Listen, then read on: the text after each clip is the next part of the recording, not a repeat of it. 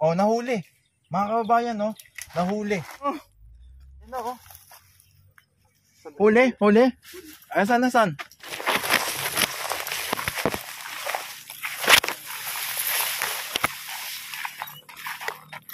Mga kababayan.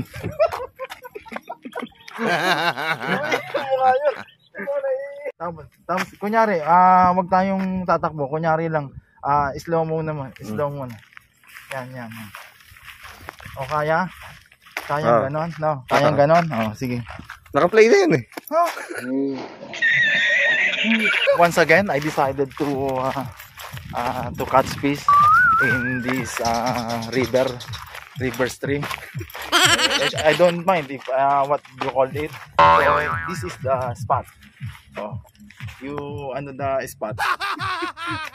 oh, then. So I will throw the first cast. So very long. so this is this. Yun. Mga kababayan. So, we will wait 20 seconds. If you remember last time, it's only 20 seconds. Because I'm in a hurry, you know. Mga kababayan, parang may huli to. Oh. Oh. Totoo to. Ano ba to? Oh.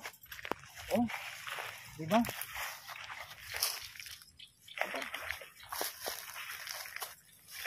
Mabigat ah. Napakabigat nito oh. Napakabigat. Oh, eto na oh.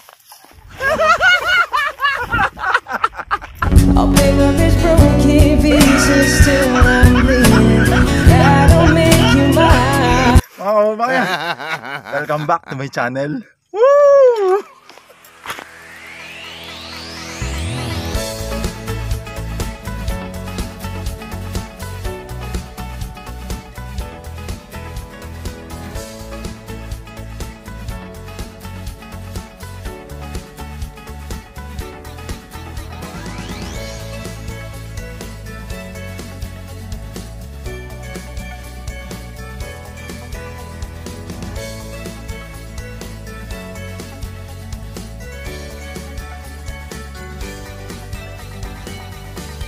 Huli, huli. Asan, asan? Ano kaya yon? Ay, kita mo yan. oh. Nakahuli. Oh. Tingnan mo mga kababayan, oh. Nung si food strip eh, nakahuli, oh. Laki pa, oh. Nakapang ulam pa. Ayos. Meron dito. Tingnan nyo mga kababayan, oh, hinahuli, oh. Oh. Halos four fingers din, ano. Oh. Minsan talaga hindi mo masabi, no. Basta lagi nyo lang titignan yung ano. Alin? Yung, kahit nakababayan, titignan nyo lang lagi yung dulo. Ah, ito, ito na. Oo. Pag nakikita nyo gumagalaw na ganon, tingnan nyo yung tanse. Oo, Pagka lumakad na ganon yan, meron yun. meron yun. Huli na nun. Mga kababayan, habang naghihintay tayo ng ano, ng huli ulit, eh, bakit nga ba ako tumigil sa pagko-content ng bonsai? Ah, kasi alam nyo, sa lahat ng mga bonsai lover at saka sa lahat ng mga, mga hobbyist, eh, dapat, etong sisiguraduhin nyo kung gusto nyo mag-bonsai. Kailangan, meron kayong, mga kababayan, sandali, oh, parang, parang may kumakagat-kat, no? Meron, meron. Meron, no? Mm. Pero, dinidila-dilaan pa lang. Mm. Bulis ki iti niya. Ano yun? Sa mga taga Bicol yun eh. Parang expression ba? Panira to mga kababayan eh. Nagpapaliwanag ako eh. Oo ulit. Nakita nyo dun sa title ko na bakit ako tumigil ng content ng bonsai hunting. Ano? Dali lang mga kababayan, no? Ayan. Hop! Ha? Siya excited eh. Ah, ganun ba? Wala pa yun? Wala pa. Ah. Tingnan mo tong ano na to. Pag nagpapaliwanag tayo eh. mga bonsai lover kasi, saka mga magbabalak mag-bonsai, ang masasabi ko, ang unang tiyakin ninyo, ay meron kayong espasyo o lugar na pwedeng nandoon na paglalagyan ng mga bonsai material na hindi dapat na palipat-lipat. Hindi kayo dapat na temporary lang doon sa isang location. Kasi kapag ka ganun kayo, eh hindi kayo makakabuo ng bonsai. Iyon ang nangyari sa akin. Eh palibasa, yung mga nasa isang lugar, yung aking mga bonsai na hinahunting, eh may pagkakataon hindi nadidilig. Kaya 80% ng mga hinanting ko nakalulungkot man kahit yung napakaganda pa. Ito, ito, ito, yan oh. Yung tibig na to. Yan, yan, yan, yung tibig na yan. Eh, ano, namatay yan dahil sa hindi nadilig. Ganon ka-importante yung location kapag magbo-bonsai kayo. At dahil wala akong permanenteng mapaglagyan ng mga bonsai material na tinetraining ko, eh, hindi na siya sa akin advisable para, ano, para i-content. Kasi ang mangyayari sa akin, maghuhukay ako, and then, after that, para mag-i-English na naman ako, no? Eh, i iimbak ko dun sa isang lugar, pagkatapos hindi maasikaso, mamamatay, hindi rin, Op, op, op, op, op, dahan Relax lang. Bigyan ba natin yung konti? Pakiramdaman nyo. ah kasi, tapos pag may tumu- gumano, Hilahin nyo kung pambagya. Dahan-dahan lang, dahan-dahan.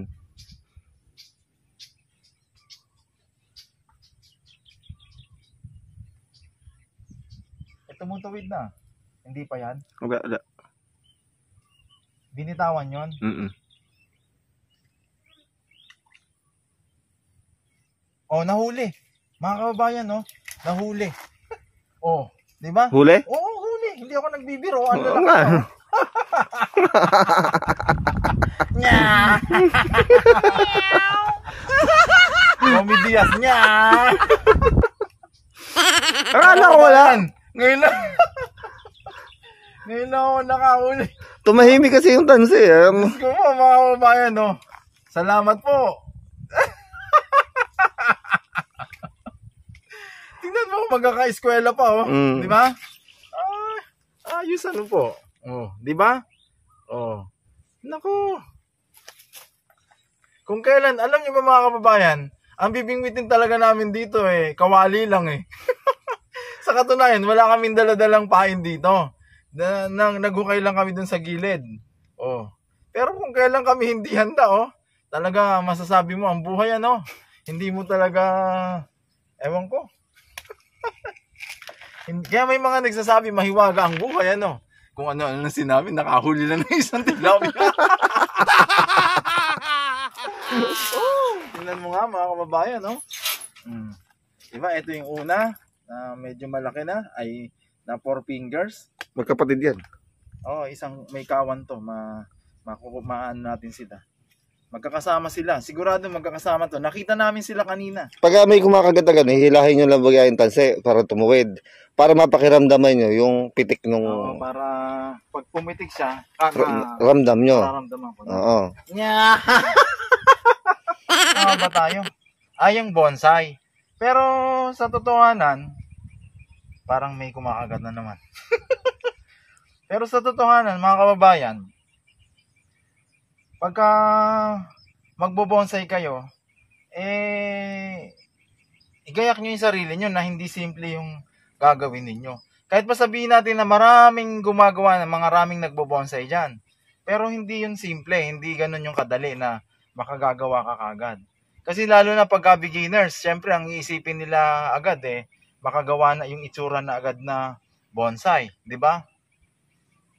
Pagka nakahuli, ay naka, kapag nakahukay ng materyales, after 2 to 3 months, oh, hindi janitor fish yun ah, no?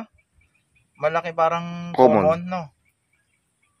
After 6 months na nagkasupling, ang iniisip na parang bonsai na agad. Hindi, napakalaki, napakaraming proseso. Sa totoo lang ako mga kababayan, hindi ako nagtuturo pero almost 15 years na akong nagbo-bonsai. Kaya lang ako hindi nakabuo ng full grown Dahil nga dun sa sinasabi ko yung temporary yung lugar na nalalagyan ng bonsai ko. Kasi mahalaga sa bonsai yung permanent place na hindi dapat ginagalaw-galaw, hindi laging inililipat. Yun yun. So, kung gusto nyo magpatuloy mag-bonsai o gusto nyo mag-bonsai, siguraduhin niyo na meron kayong mas advantage kayo kung meron kayong lupa na malaki na doon nyo ilalagay yung mga materyales nyo. Hindi kayo nag-hunting, eh matatagalan kayo.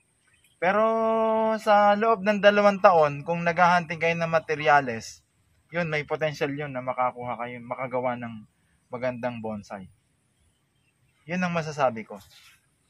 At dito na ulit tayo, back to pamimingwit na tayo mga kababayan. Okay, bumili lang sila para meron silang instant. Yun ang pinakamabilis, bumili sila. Yan yung mga kababayan, no?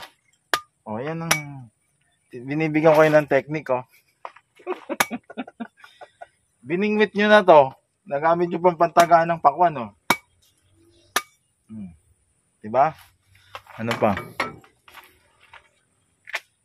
Ah! Matamis. Parang matamis to, Jim.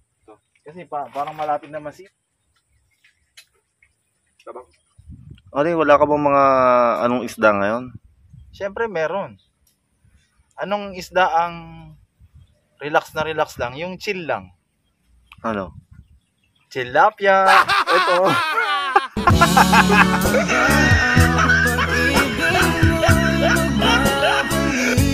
ang saya lang ng buhay mga kababayan, ano? Lalo na pag hindi masakit ang ngipin mo.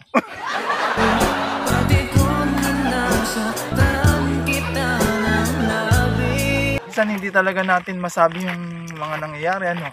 Kung kailan wala tayong pamain, saka tayo nakahuli ng tilapia. O paano, hanggang sa susunod. Sa inyong lahat, maraming salamat. Mabuhay kayo hanggat gusto nyo. Woo!